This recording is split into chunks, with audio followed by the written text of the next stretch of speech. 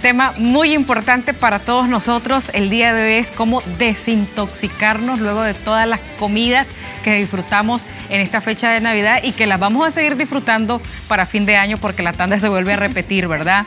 El pollito relleno o la gallina rellena, de repente la gente que hace sus, tan tradicionales arroz a la valenciana, que esto es para los cumpleaños y para Navidad también, para todas fechas del año, el relleno riquísimo las chuletas de cerdo y tantas cosas, bebidas habidas y por haber, tan deliciosas. Y lo dulce que prevalece y todo lo grasoso, que es, que es lo más rico, doctora. Y bien dicen que recalentado sabe mejor después del día que ya nadie quiere cocinar, ¿verdad? Desayuno, almuerzo y cena, ¿verdad? el relleno.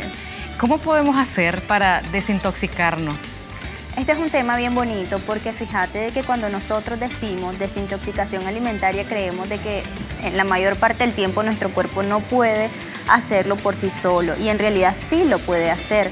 Nuestro cuerpo tiene principalmente sus depuradores corporales que son el hígado, el riñón y el sistema linfático pero cuando este se encuentra muy saturado, entonces para él es mucho más difícil comenzar un proceso de depuración o desintoxicación corporal. Las señales que normalmente podemos eh, percibir son como mal aliento, eh, abscisión abdominal que ya inicia una inflamación en la parte del estómago, comenzamos a retener mayor cantidad de líquidos corporales. Y eso, eso me eh, gusta porque la doctora Verónica Silva, como toda una especialista en nutrición, llega a ese punto que a todos nos duele porque en Nicaragua consumimos muchos carbohidratos. Así es. Arroz por los aires, ¿verdad? Y aún en fiestas navideñas. el pan que va en todo el pan, en todo el. Así es. E incluso ese es otro factor, el estreñimiento. El estreñimiento nosotros podríamos reducir este síntoma con el simple hecho de aumentar un poco más de carga o de aporte de fibra en los alimentos que nosotros consumimos. Por ejemplo, si al momento de la preparación no utilizáramos solamente pan blanco, sino pan integral, ya estuviéramos reduciendo el riesgo de padecer estreñimiento en un par de días después de la ingesta alimentaria tan excesiva que tuvimos.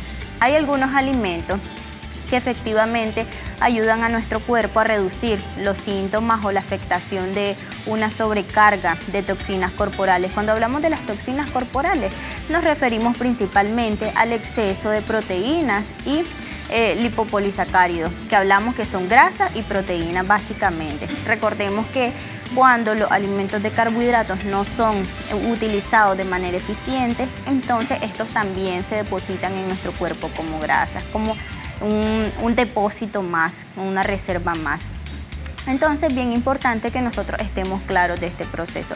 Ahora, ¿qué alimentos pueden ayudarnos a desintoxicar nuestro cuerpo o de qué manera podríamos hacerlo? Incluyendo alimentos, sobre todo en el momento de ayuno, que después de un periodo largo de sueño podemos ayudar a nuestro cuerpo a trabajar de una manera mucho más eficiente. Hacerle como un choquecito eléctrico para que resucite el pobre después de tanta carga. Entonces podríamos utilizar apio, podríamos utilizar pepino, podríamos utilizar rábano, e incluso el jengibre, que muchos de nosotros a esos alimentos como que solo de larguito y poco en poco durante la preparación, pero son alimentos que realmente tienen un aporte muy beneficioso para nuestro cuerpo, siempre y cuando lo utilicemos durante este proceso de desintoxicación en un tiempo limitado. ¿Por qué un tiempo limitado?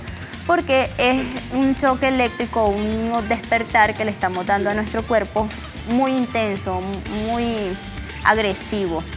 Entonces, por eso máximo tres días de desintoxicación. No quiere, quiere decir de que no es que solamente vamos a alimentarnos con esto, pero sí eh, reducir, por ejemplo, alimentos de carbohidratos, alimentos eh, que contengan eh, glutamato de sodio, que básicamente son sardinas y a ver, este aceite de soya. más, más liviano. Así y, es. y una consulta, doctora, porque nos estamos olvidando de nuestros niños y es que lo que nosotros comemos se los damos a ellos también.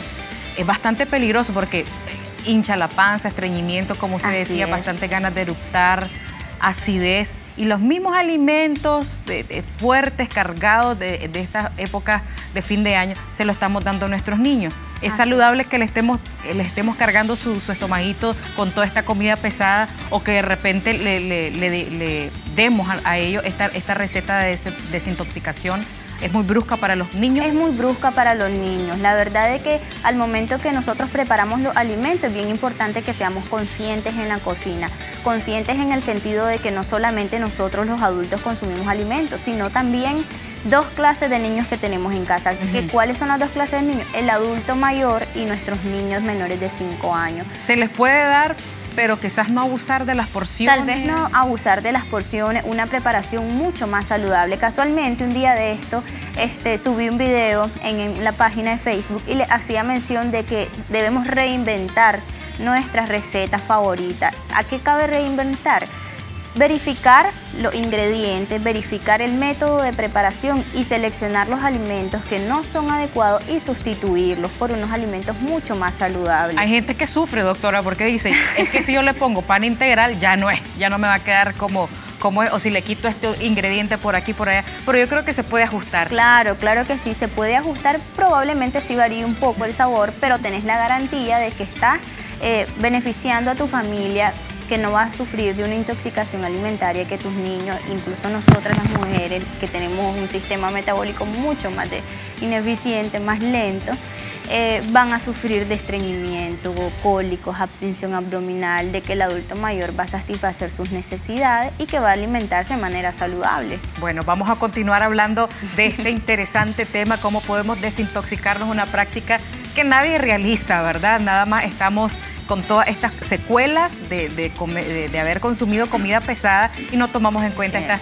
importantes medidas que benefician nuestra salud. Regresamos con la doctora Verónica Silva, especialista en nutrición, aquí en nuestro segmento. Volvemos.